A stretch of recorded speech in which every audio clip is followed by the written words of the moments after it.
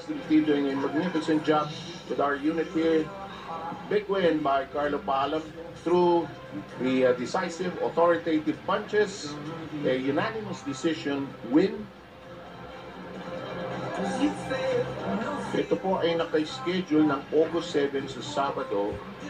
Ah, dito sa Japan ay 1400. So alas dos ng hapon. So alauna po ng hapon dyan sa atin.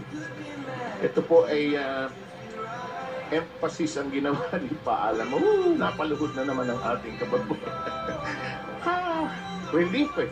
Relief sa lahat ng hirap, sa tuwa, sa saya, na tinutulot niya sa inyong lahat, mga kababayan. Pagdasal po natin ang ating kababayan na pala rin tayo sa susunod na laban. Ganda naman ang ngiti ng kanyang kalaban. Naisahan mo ako today, partner. At uh, very spoiled.